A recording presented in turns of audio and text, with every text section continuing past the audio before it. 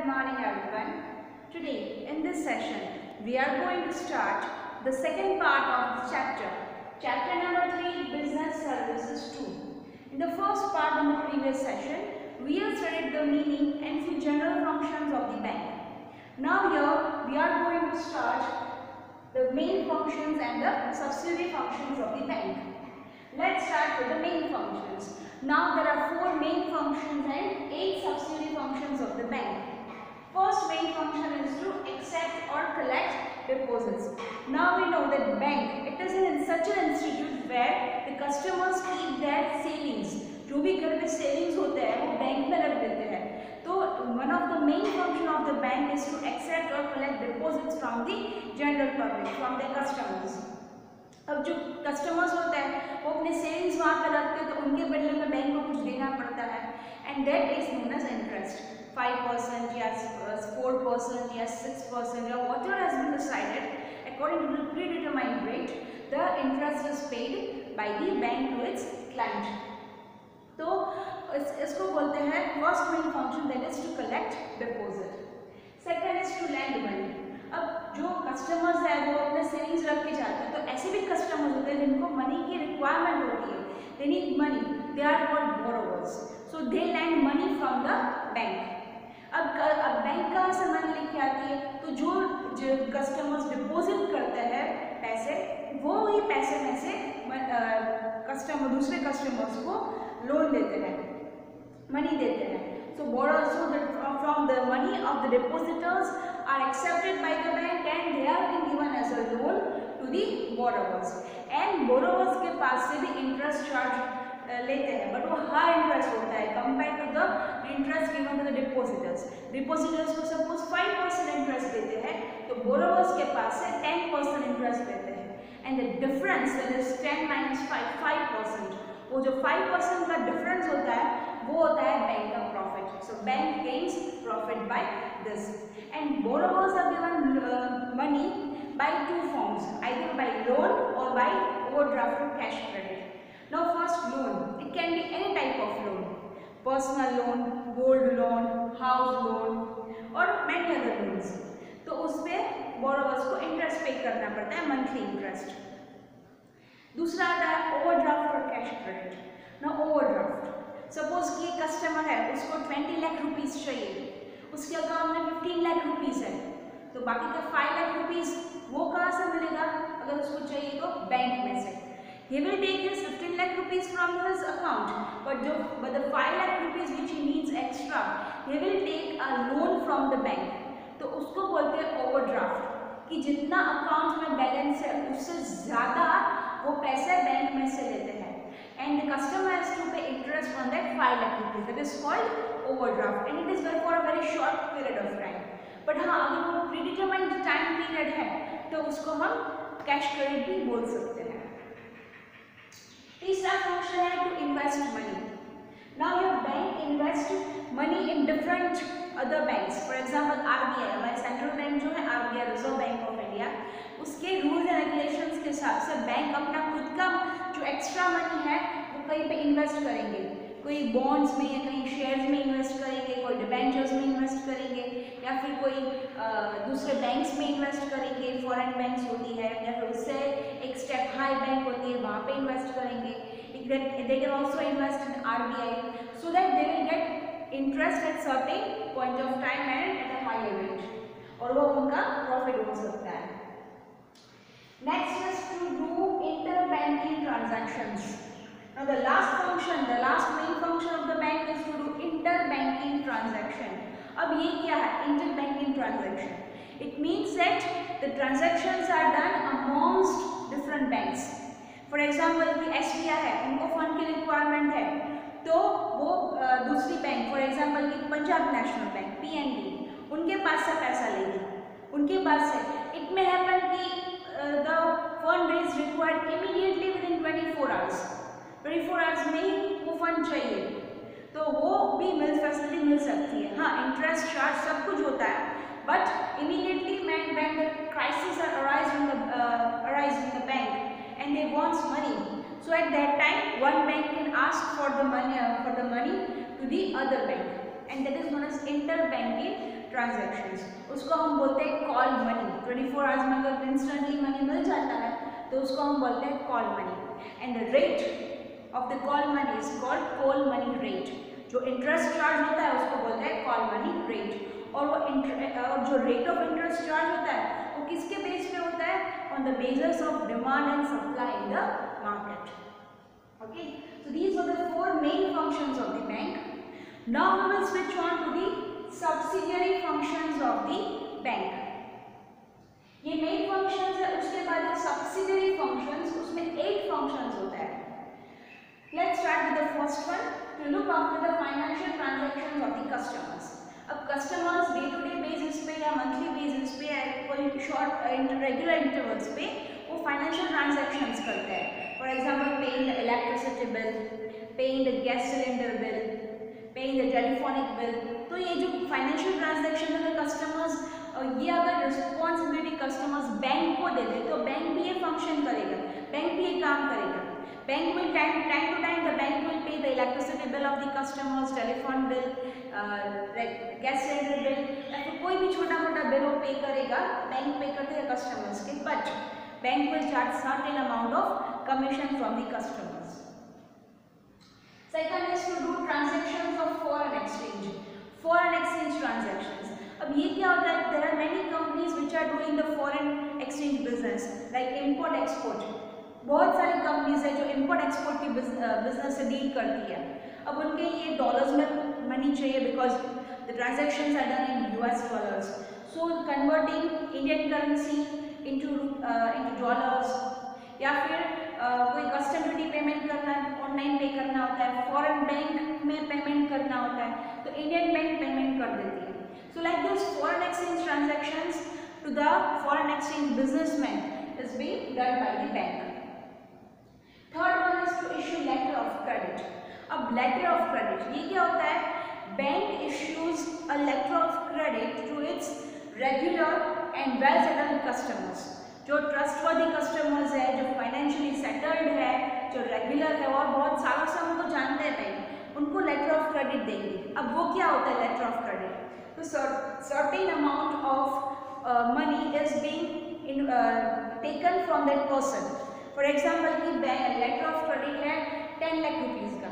तो सबसे पहले वो कस्टमर है, वो टेन लाख रुपीज़ बैंक को जमा कर देगा। And the bank gives guarantee to any of the institute कि भाई, ये बंदा दस लाख रुपए तो नहीं देगा। आप क्रेडिट में उसको कोई सब कोई प्रोडक्ट सप्लाई कर दो। तो वो क्या करेगा customer customer will show that letter of credit to any of the institute जिसके पास से उसको प्रोडक्ट्स लेना है या फिर कोई क्रेडिट में चीज़ परचेज करनी है, उसको लेटर ऑफ़ क्रेडिट दे देगा। कि भाई बैंक लेटर ऑफ़ क्रेडिट दे रहा है, मुझे अभी पैसा अब मेरे पास नहीं है, मैं बाद में दे दूँगा। तो अगर बाद में भी मैं पैसा नहीं दे पाया तो बैंक इज़ गिविंग गारंटी कि वो टेन लाख रुपीज़ आपको दे देगी। तो जितना भी अमाउंट कस्टमर ने बैंक से डिपॉजिट किया है, उतने अमाउंट का बैंक क्रेडिट देगी। उसको बोलते हैं letter of credit that letter of credit is being given to the customer and customer जहाँ पे भी वो शो करेगा वो वो पर्सन है वो कस्टमर uh, के कस्टमर पे भरोसा कर कर लेगा कि भाई चलो लेटर ऑफ़ क्रेडिट बैंक ने इशू किया है। मतलब ही a trust for the person and अगर उसने पेमेंट नहीं किया तो बाद में बैंक तो पे कर ही देगा। Okay so that was letter of credit now the fourth function is to issue travellers cheque Now we know that many people travel every year, right? अब वहाँ पे पैसा ले जाना साथ में रखना इतना सारा पैसा चोरी होना it might be stolen it might be theft अब ये सब का डर रहता है। तो पहले के ज़माने में क्या होता था? ट्रैवलर्स से इशू होता था। Nowadays debit card credit card A T M all the facilities are available but earlier when all these facilities were not there ATM debit card credit card ये सब नहीं था जब। तब बैंक है वो ट्रैवलर्स चेक इश्यू करती थी। Travellers cheque it is a cheque given for example क्या I am staying in Porbandar और मैं जा रही हूँ दुबई घूमने के लिए। अब वहाँ पे मुझे पैसा नहीं ले जाना है। ना तो मेरे पास एटीएम डेबिट क्रेडिट कार्ड है कुछ भी नहीं है मेरे पास। तो I will take travellers cheque from the bank and जो दुबई में मैं जा रही हूँ तो दुबई की जो बैंक है वहाँ से मैं पैसा ले लूँगी। मुझे on this what I just need fifty 50,000 50,000 rupees from that Dubai bank. और मेरी जो बैंक पोरबंदर में है वो दुबई बैंक को पैसा वहाँ पे ट्रांसफ़र कर देगी। And I will take money from that foreign bank तो क्या होगा कि ना तो मुझे फिफ्टी थाउज़ेंड वहाँ यहाँ से लेके जाना पड़ेगा और ना मुझे कोई डर रहेगा चोरी का या फिर थेफ्ट का या फिर स्टोलन हो जाएगा या फिर लॉस्ट हो जाएगा। I don't have any I will not be having any fear so that is known as travellers cheque and and that's why travelers check very less used because उसके बदले में ATM debit card credit card सब आ गया। Next is to provide draft service.